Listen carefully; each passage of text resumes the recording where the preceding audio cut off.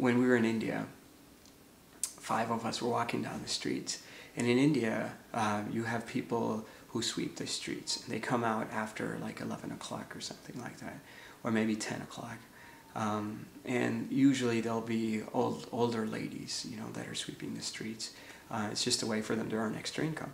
And so we're walking down the street um, about 10, 11 at night, and there were five of us, and we're like, wow, these women, some of them old enough to be my grandma, are sweeping the streets.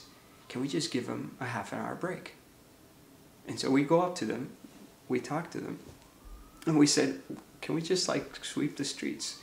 And you could just take a little half an hour break. And they were like, no, no, no, what do you mean? Nobody does that. Why should you do that? And we were like, no, no, just try it. Let us do it. You know, we'd love to do it, you know. And so we actually traded them.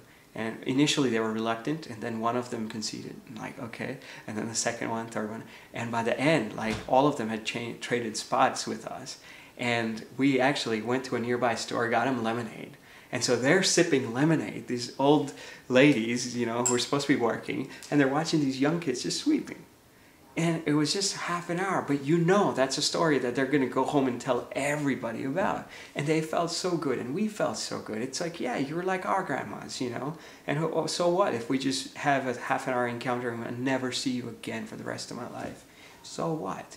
And it was amazing because as soon as we started doing that, like all the traffic stopped. And you know, this is India, right? And people started looking like, wait, wait, wait, what are you doing?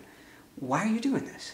What group are you with? We're like, oh, we're just a bunch of friends. We want to do it because it's felt like the right thing to do.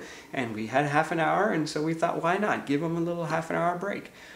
And you should, you would be surprised. It was just incredible. I mean, these, everybody's like, oh, wait, can I join? Can I do this? We're like, yeah, sure. Don't you see this every day? Here, try it, you know? And people would like, okay, yeah, I'll do it.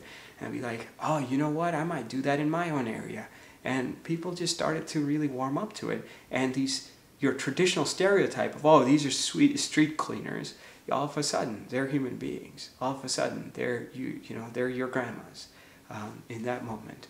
And that's a beautiful thing. So that shift can really happen anytime in any place. But you just need to be willing to look at a situation and to look at circumstances and to look at people as if you are connected to them not even as if. Maybe initially you look at it as if you're connected, but ultimately you start to realize that you actually are connected.